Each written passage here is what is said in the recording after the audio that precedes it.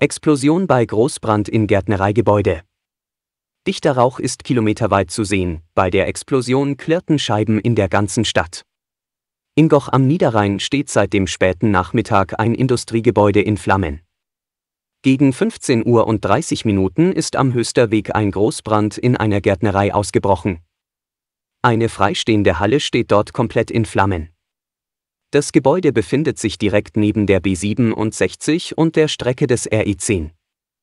Feuerwehrsprecher Thorsten Martin-Eers, unmittelbar nach Eintreffen der ersten Kräfte ereignete sich eine Rauchgasdurchzündung. In deren Folge sind zwei Einsatzkräfte der Feuerwehr Goch schwer verletzt worden. Sie erlitten Verbrennungen, Lebensgefahr besteht nicht. Beide wurden mit Rettungshubschraubern in Spezialkliniken transportiert. Die Behörden warnen über die App Nina, dass es zu Geruchsbelästigungen und Rauchniederschlag kommen kann, es bestehen Beeinträchtigungen für die Gesundheit. Die Feuerwehr rät im Gocher Stadtgebiet die Fenster und Türen geschlossen zu halten. Es werden Luftmessungen durchgeführt.